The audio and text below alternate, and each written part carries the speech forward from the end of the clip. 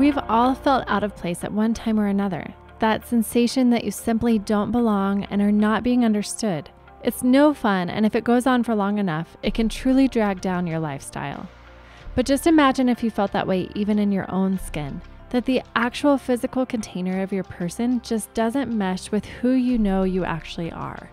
It would mean that every time you changed your clothes, met new people, or went into public, the world around you reminded you that while you may identify as one way, you definitely look another. Well, today we're sitting down with a very brave person, Ryan Sallans. My name is Ryan Sallans, and I'm a national speaker and author of the book Second Son. My work and my book explore my transition from female to male and also my recovery from anorexia nervosa. Ryan's gone through a lot of ups and downs over the years and at times felt completely lost when trying to move forward.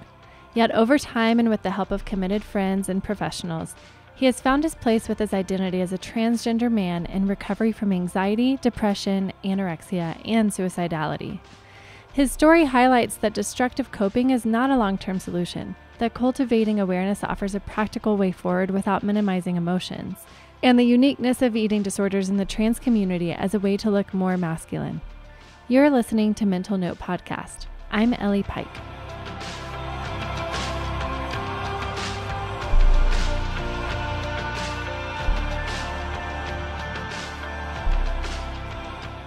So maybe just describe to me a little bit about your background, what it was like to grow up in your body at a young age.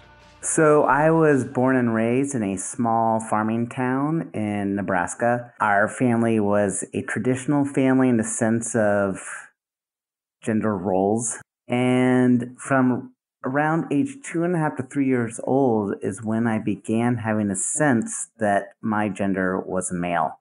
Uh, and that took place when I was standing outside one summer we had a swimming pool in our backyard, and my mom had put me into a bright pink bikini. And I was standing around the pool in this bikini, and I was looking at my dad and my brother, and I was looking at my mom and my sister, and I proceeded to take the top part off of my bikini so I could have swimming trunks like my dad and my brother. So that's my first memory of gender. It's my first memory of looking out and seeing something in the world and trying to align my own forms of expression with what I saw. Ryan couldn't talk about this with his parents or anyone. He says the F word in his family stood for quote unquote feelings. He felt alone and very afraid. So, how did that affect your sense of self and your relationship to your body? Kind of growing up and all of a sudden realizing you're female, but feeling more male and identifying with more males. I remember you mentioning you wanted to be a lot like your dad and and kind of like idolizing this male role or male identity. So, how did that affect you? Well, so at age seven, uh, when I realized that my body was female, I was standing in front of the bathroom mirror washing my hands, and I was just looking at my reflection, and it hit me that I was female. And I remember just having despair wash over my body at that very moment, and I wanted to actually crawl out of my skin. And I remember just looking at myself and saying verbatim, I've got dealt a bad deck of cards, and I need to live with this the rest of my life, and I don't know if I can.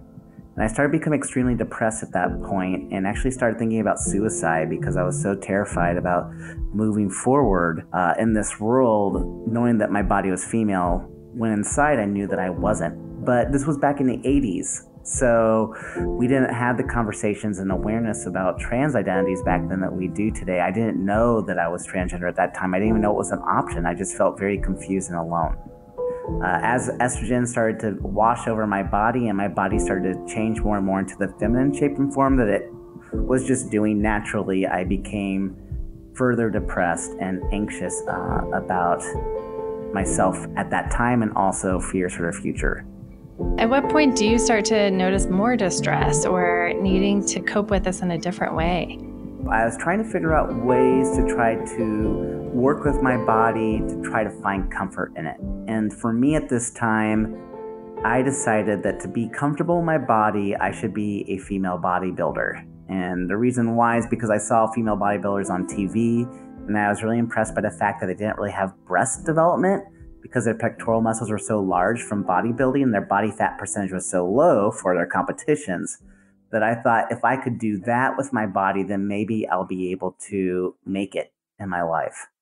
Wow. So is that did you start exercising at that point and working out?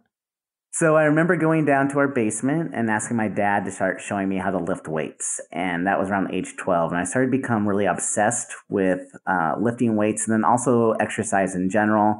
I would say I was very obsessed with it. If I'd be hanging out with friends, I'd be doing sit ups when we're hanging out or doing like leg raises. So I just could not sit still. I had so much anxiety bumping around inside of my body.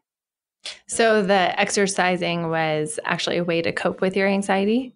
Oh, definitely. The compulsion became louder inside my brain as I moved into college and into my eating disorder. Yeah. So describe that to me a little bit about what was happening with food and body image and exercise all in one. Well, if, if we're still in the high school range, I started to engage in restrictive eating behaviors that would not take me to the point of being classified as being anorexic, but I would try to control how much I was eating uh, because I felt like it made me a better athlete. And that's not a fact, that's just how I felt at the time. Uh, right. To be lighter, to have less weight on me. I wasn't even thinking about masculinity or femininity or really gender at that time. I was just trying to f- figure out how I could feel comfortable in my skin. And for me yeah, to feel comfortable in my skin, I just wanted my shape to be prepubescent, essentially. I didn't yeah. want it to form into a female shape at all. I was scared of that. And when it started to form into a female shape, as I started to see curves or even breast development, I would just classify that, and I'm going to put this in air quotes, even though nobody can see it, but I'm putting in air quotes, classify that as my fat. And I, I saw that word as a negative word. I saw it as something that I feared. Let me ask you this. At what point did overexercise and manipulating your food and your eating disorder, at what point did it turn destructive? That took place the summer between my freshman and sophomore year of college. So, as I mentioned prior, my freshman year, I was really struggling because I didn't know where I fit in. And I also had this belief that I needed to find a man that would marry me. Because I believed that if I married a man, then everybody would see that I was lovable and I would finally feel okay in my skin. Um, and so I actually started dating someone. It was someone I knew from my hometown. He was older than me, um, but we reconnected because we were both in the anthropology program. And so we dated for eight months. And I recognized that when I dated him, it was like dating the guys I had in high school. Like I truly enjoyed the companionship and the sense that I had a friend to hang out with. Um, but I always felt wrong in my skin and I didn't want intimacy because intimacy also felt very uncomfortable for me. So after eight months of dating, um, we hit May and in the month of May, he graduated and I was moving into my sophomore year. We decided to go on a camping trip to celebrate his graduation. And after the camping trip, he dropped me off at my house and never called me again. And this was pre cell phone. I couldn't call on a landline because that cost money. And so it was just gone. And I just said, moving into my sophomore year, that I had to change, that I had to become more feminine because if I wasn't, people wouldn't love me. I couldn't find a relationship and I wouldn't be able to find a job. And so I told myself I had to become more feminine. And when I thought about that word, the first descriptor that popped in my, into my head was the word skinny. And so I just set on the journey to become skinny. And I did it. Unfortunately, that led to anorexia, but I thought that that's why I needed to be able to be accepted and loved. Wow. I, I like how you are able to put words to that. The acceptance and love was at the core of all of it. I noticed that theme in pretty much anyone who's gone through an eating disorder. Definitely. You know, I've even seen research articles that um, look at lesbian, gay, bisexual, transgender identities and the coming out process. And they suggest that with the coming out process, there may be an increase in eating disordered behaviors because of this belief that if you change your appearance to be acceptable within societal terms, then family will not reject you, they will accept you more. To dive a bit more into the research on LGBTQ plus dynamics, I sat down with Zach Rawlings. My name is Zach Rawlings. I work on the admissions team for Eating Recovery Center. I'm a licensed professional counselor and am a PsyD candidate doing research in gay men and eating disorders and their mental health. Zach, could you explain to our listeners the difference between sexual orientation and gender identity? Yeah, absolutely. So, those terms often get used interchangeably, and there's some pretty important key differences between the two of them. When we think about sexual orientation, it's usually thought of as three different things. So, it's, it includes someone's sexual self identification, so how they identify, whether gay, straight, bisexual, or something else. And it includes their sexual behavior, and then it also includes their sexual attractions and fantasies.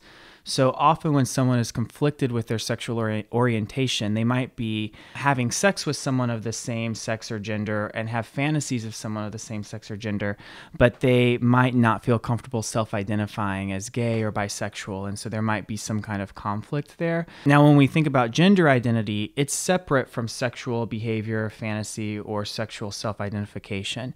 And rather, uh, gender identity is looking at a person's in- internal sense of whether they are masculine masculine, feminine, male, or female. And we can think of gender as being on a spectrum. So there can be gradations of maleness, femaleness, masculinity, femininity.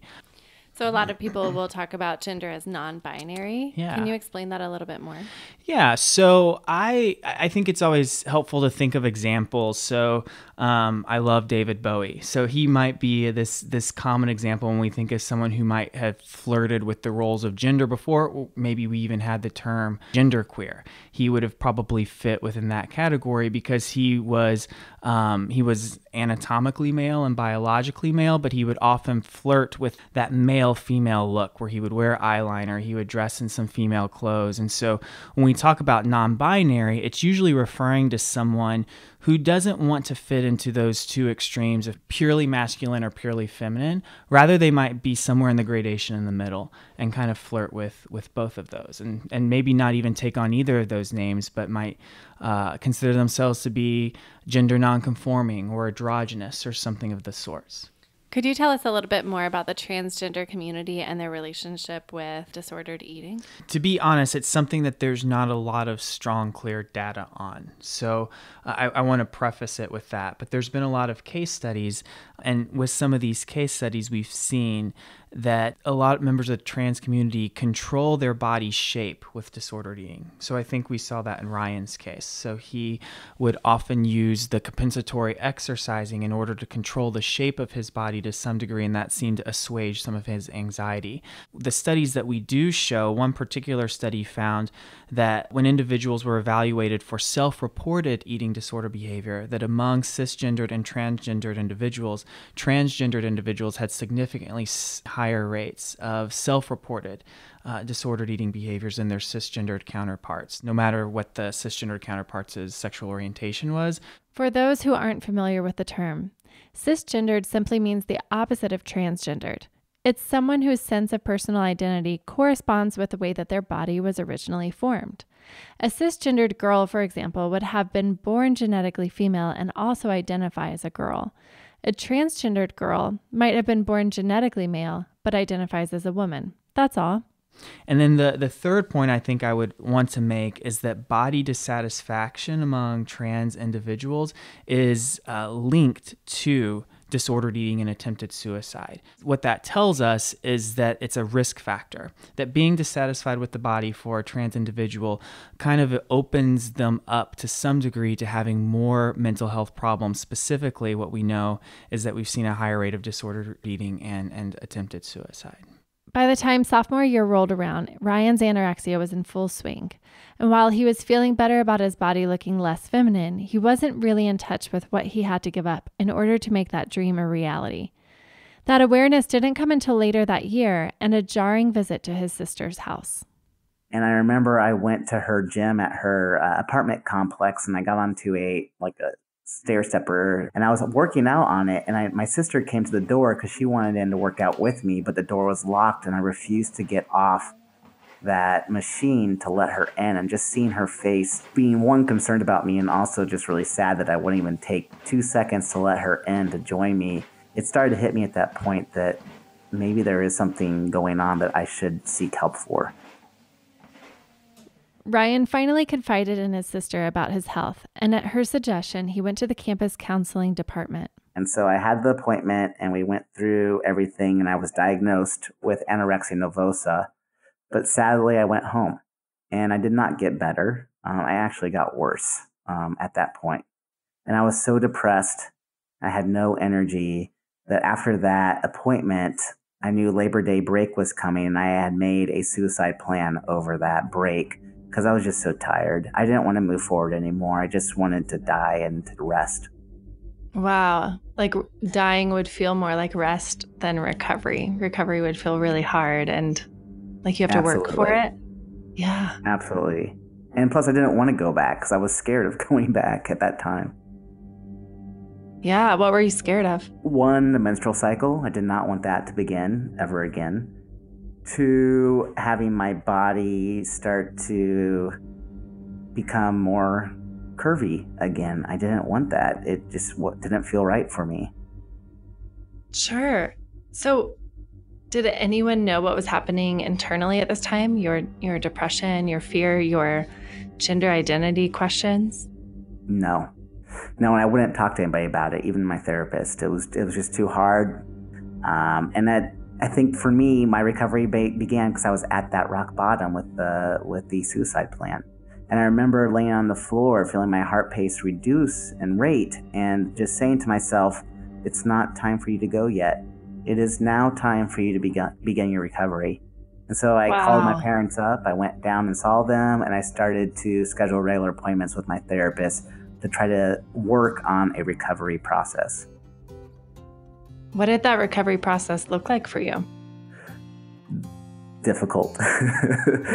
and so, essentially, to begin a recovery process, what needs to happen, in, in my case, is that I needed to stop working out altogether and I needed to consume high levels of calories so that my body could finally catch up and actually start adding weight on top of it. Doing that was the hardest thing I've ever done in my life because number one, I couldn't work out. And number two, I had to put things into my body that I didn't want to put into it. Yes, and it's causing you anxiety and you're you're not dealing with your anxiety at that moment through exercise, which would be extremely hard. So what were the ways that you learned to cope with that anxiety and start to accept the body changes? So I started doing yoga which helped me. And I wasn't doing power yoga or anything like that. I was doing you know more the mindful stretching and breathing. I started to sit with the emotions more, which is very, very difficult to do uh, just because all the voices start screaming in your head. And I mean, still this day, it's hard to sit with emotions. And I also worked with my therapist every week. I was part of a eating disorder support group, and I also had a nutritionist that I met with every week. And so I was really trying to dedicate time outside of school to working on understanding feelings, emotions, and uh, my relationship with my body. Through these steps of recovery, awareness became a large part of Ryan's process. Sitting with his emotions and anxieties and examining them. Why was he feeling anxious? What was the cause? It was a lot of work, and it still is. But aside from the mental aspects of recovery, Ryan had to face the physical aspects as well. What was it like as you were regaining your weight, which was natural in the recovery process, what was it like to regain that feminine form again? I mean, for me, it was devastating, to be honest, just because I felt like all that work I did, I lost. Let's talk about that then. So, what was going on within you of, you know, taking on this feminine form, but then inside you weren't feeling like a female. At what point did you start to um, kind of confront those emotions more or ever talk about them or consider doing anything different about your gender identity? For me, when looking at sexuality, the first place I tiptoed into was sexual orientation. My recognition that I was having a lot of crushes on women, especially the older I got. And so, four years into my therapy, my therapist gave me this book called The Dark Side of the Light Chasers by Debbie Ford. And Debbie works off of Carl Jung's theories of shadows. And when we struggle with addictions or other issues, it's because of the shadows that are in our life that we're not bringing forward and facing and naming and exploring. And so I came out as lesbian. And when I did that, I started noticing my behaviors around food that were disordered to decrease. And it was that first moment in my life Um, at this point, I was, what, 24 years old, where I just had this epiphany of, wow, look how healing it is to actually name something that's part of you and not run away from it, regardless of what other people are going to say or how they're going to judge you, or even you're going to be rejected. Just honoring it and claiming it and just knowing it's part of you. It's an amazing experience to do that. Wow, I think it you're really speaking to that. To find your truth, it takes a lot of courage to let other people know that. At what point did you start to identify more with the LGBT community and then also recognizing more of your gender identity, not just your sexual orientation? So, after that month of coming out when I aligned with the LGBT community. And when I came out, all those people that were prying into my life to figure out if I was lesbian or not wanted to celebrate again. so we went back out to the bar and I met I met a woman that night and within a week we began dating. And for me it finally felt right to be in a relationship with a woman because I understood at that point that when we look at orientation, orientation has uh, three different prongs to it. It's not just who we're attracted to sexually, right? For me, I learned at that point that I am romantically oriented towards women in the sense that for me to be partnered and have a long term relationship, I do not have a romantic orientation with men. I have an erotic orientation or a, sexu- a sexual attraction towards men, but that romantic piece isn't there. So I felt really affirmed finally to date someone, understand like this is right for me. The one problem was is I still felt wrong in my body. Intimacy was a turnoff for me because I felt so wrong in my body. Uh, and I was also severely depressed and still struggled 24 7 with suicide ideation. So, eight months into our relationship together, eight months into being identified as lesbian, I was in a bookstore in Boston and I found a book about transgender men. And looking at the photographs and reading the stories, I instantly knew that I was a trans man. And I mean, everything, the lights got turned on that day when I saw that book. So, was it something that you had just never really encountered before and it was a new concept to you? Yes. So, for me, the word transgender was a word I knew. I took human sexuality in college. I was actually a sexuality educator at that point um, at our health center, but it was never a word that I thought was real in the sense that I didn't know that any person could actually transition. I thought that you had to be a millionaire or a trust fund kid to be able to have access to the medical um, resources that would be required or necessary in a person's transition reading this book and seeing individuals in the book, I understood that that's not the case. Um, that transitioning is possible and that um, there are providers out there that will help you. Wow. So, what did you decide to do once you? I know it's not this like, you know, drastic change in that moment. All of a sudden you have an answer to all your questions, but what was your next step? Well, that day when I was looking at this book, I was so excited. And my girlfriend looked over my shoulder and just said, Yuck. You don't want to look like that, do you? Oh, so she pointed wow. to the trans man that was I was looking at. And I, I reverted back to a child that was being rejected by my family when I was trying to express myself in a more masculine way. And I just said no, even though I knew that wasn't true. And I remember at that point just having this question pop into my head of when will I find someone who will unconditionally love me? With the memory of that conversation with his girlfriend still ringing in his ears, Ryan was cautious about moving forward with his transition. It even took courage to bring it up with his therapist. But I was also really fearful about this because while I knew I was trans, there was this one thought that popped up into my head of, am I really trans or is this my eating disordered brain speaking? Is this my distorted body image that's influencing these decisions? And I became really scared. And I was actually really scared to come out to my therapist uh, because I was working with the same therapist for the six years, and I was I was worried that if I came out to her, she would also invalidate my trans identity and say that was just because of my eating disorder. But I took in this uh, folder that had all these pictures of my childhood. And near the end of the therapy session, I started setting everything out and describing my feelings. And she just said, So you're a boy? And I said, Yes. And she just said, I've never worked with a transgender person before, but I'm willing to learn. And so that's all I needed from her. She validated my identity.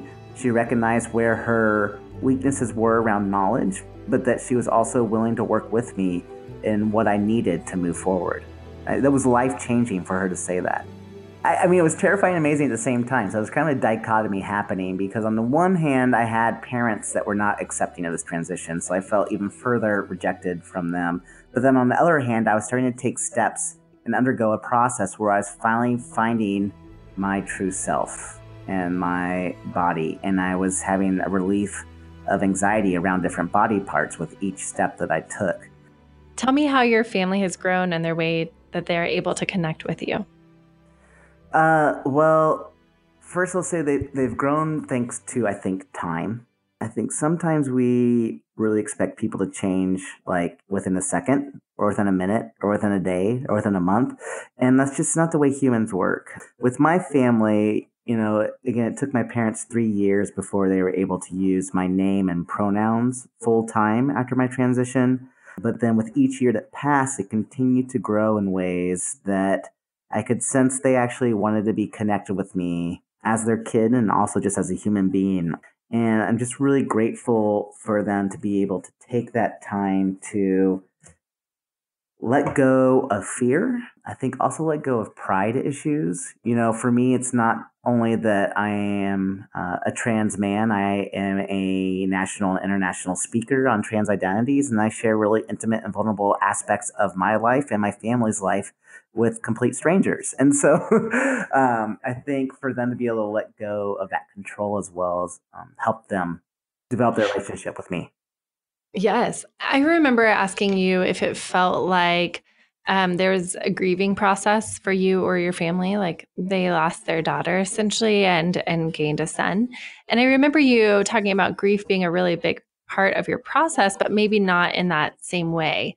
Families can naturally go through a grieving process when someone comes out as lesbian, gay, or bisexual, or when someone comes out as transgender, right? Because essentially you are telling them that you are not who they thought you were. But they assign those labels to you. You never even had the space to be able to let them know who you were. We just assign labels to everybody based on what genitalia you see when they're born. And then, you know, we have heteronormativity happening where we just then assign them as girl, boy, heterosexual. I do remember that when I first came out to them as lesbian, they were more accepting because I think they'd had more time to sit with this idea of me being a lesbian just because of their assumptions. Uh, I remember when I came out as trans, my mom cried and told my brother, why couldn't she just stay a lesbian, right? And so they're, they're trying to do bargaining in that sense as well.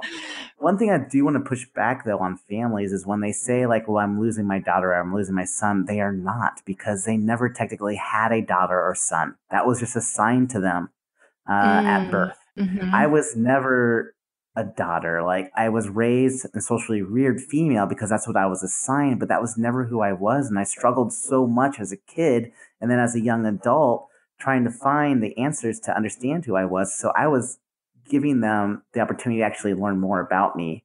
Um, I am the same person I was before. I minus my voice being lower in pitch because of testosterone. I talk the same. My personality is the same. My interests are the same. They did not lose me. They've actually gained me and they've actually been able to now be introduced to all of who I am. So, what is something that you would like to provide other people with, you know, just this little nugget of education that would help people like you who are in in the midst of transition or part of the LGBT community? Okay, number one, again, we have to love ourselves. We can't move forward in our relationships with other people if we can't move forward in our relationship with ourselves. And so we have to start working on breaking down our own fears our own assumptions, our own stereotypes that we may have around an identity or a label. And so we have to be able to start exploring all of who we are and start to embrace all of who we are. Next, then, with our family and our society, we have to recognize that when they say things that are hurtful or harmful, it's really not about us. It's about them. It's about their own fears, their own misunderstandings, their own ignorance. Next, how can we find support to assist us when we're going through those really scary times? Whether it's a scary time with employment, a scary time with family acceptance or rejection, a scary time in our own uh, recovery process. Like, who can we lean on and actually use our voice to say, hey, I'm actually really struggling. Can I talk with you now? It sounds like this process has been so worth it for you. And and one thing that has really stuck out to me is the amount of time that you put into your transition. So surgeries and hormone therapy and money that you put into it Um, you mentioned it to me at one point, like losing some experiences. So now you're in a state of regaining experiences. So tell me a little bit about what you're doing and discovering now. Well, for me, you know, I am looking at the four and zero on the birthday cake, and it's just you start to you start to have more as you age. You start to have more recognition of your true mortality, and this feeling of actually wanting to live your life as fully as possibly, and to be able to integrate all forms of things that bring you joy. I've started playing piano again because music is a really important part of my life. am writing again, so I, I released my first book, Second Son, but I'm currently working on my second book about life post transition and my eating disorder. My wife and I do backpacking, so I introduced her to backpacking and she fell in love, and I created a monster to the point where she's going to have us do a 110 mile backpacking loop overseas uh, this winter or this uh, fall. And so, you know, I'm just trying to find all these different things that go outside of a specific identity that just bring me joy and make my life feel much more full. Awesome. Well, thank you. Thank you. Yeah, thank you.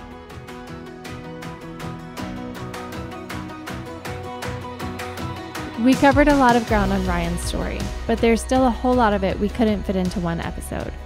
So, if you'd like to dig deeper into his story and how he discovered healthier ways to embrace his identity, you can pick up his book, Second Son, or explore his website, ryansallans.com.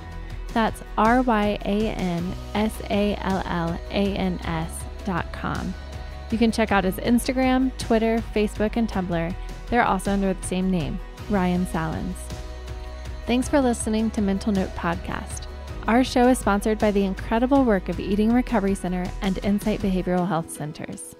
To talk to a licensed counselor and see if treatment is a good idea for you, call 877 411 9578.